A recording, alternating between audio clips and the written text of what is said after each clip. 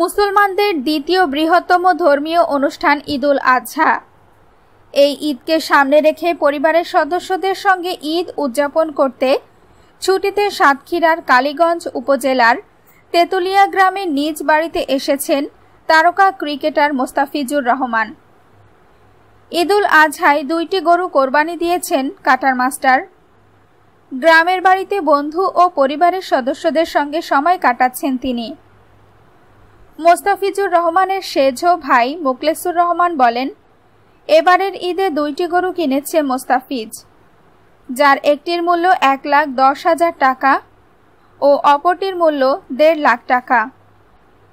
কোরবানির পর গরিব দুঃখী মানুষের মাঝে গোস্ত বিতরণ করেছে মোস্তাফিজ। ওয়েস্ট ইন্ডিজ সফর থেকে দেশে ফিরে এগারো আগস্ট বাড়িতে এসে মোস্তাফিজ।